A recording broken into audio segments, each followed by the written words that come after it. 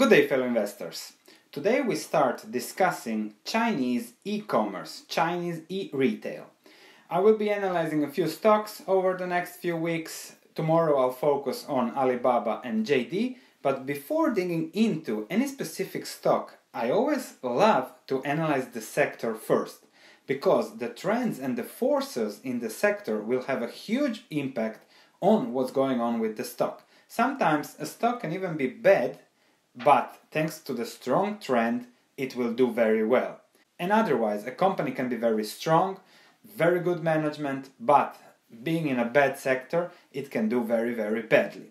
So let's start by looking at what's going on in the Chinese e-commerce environment to see what picks, what stocks should we choose.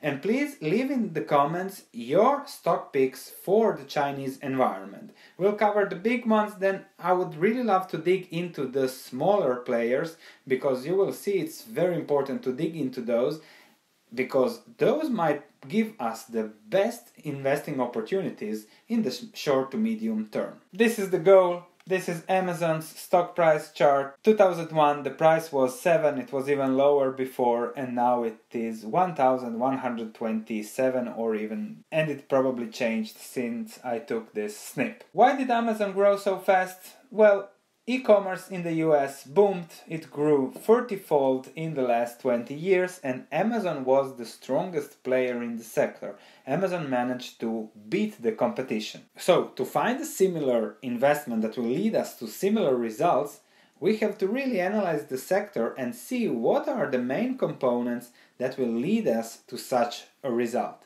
Thus, market domination, perhaps it's not even necessary as much as growth that's necessary. And cash flows positive business model investing in other ventures that will lead to sustainable growth. But before digging into that let's see the chinese e-commerce environment. And it's very special because of the following points. It's now changing from a seller's market to a buyer's market. So the buyer has much more options now Large retailers are trying to scale the consumer base by expanding into everything. JD, Alibaba, all the largest ones, and also the smaller ones are offering a plethora of services and business models. You never know which one of those might explode. This means also that cross industry activities will bode well for small niche players that will become targets for those who decide that to buy is better than to build. And given that there are a few big players, it might be even better for smaller players if they can build up that niche. Of course, digitalization, omnichanneling, supply chain management is the key, and the capital investments are still large in the growth sector. If we look at Chinese retail market growth, it has been slowing down but still very, very steady and growing strongly. However, for the Chinese retailers, it's not only about China, it is also about the global environment because they sell all over the world and my wife just bought things from AliExpress and she was delighted. So we can see that the global e-commerce growth has been also slowing down but still is at 18.7%. We can only imagine because 20 years ago e-commerce was nothing. 20 years from now, will e-commerce be a global thing? So if I buy into a Chinese player now don't be constrained by what's going on just in China. If it becomes a global player, like they are aiming to do, what will be the result?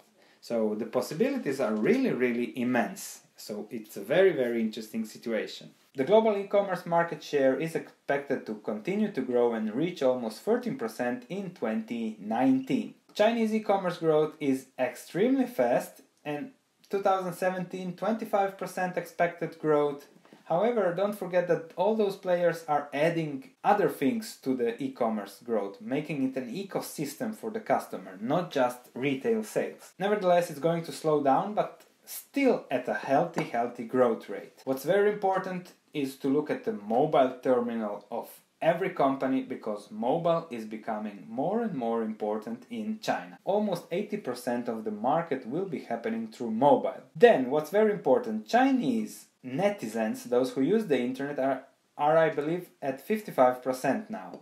So, especially in the rural areas, there is still a lot of opportunity for growth. Something interesting is that 31% of users initiate their purchase through WeChat. So it's really about the social media influencers in China, and we have to see how a company is positioned to take advantage of that.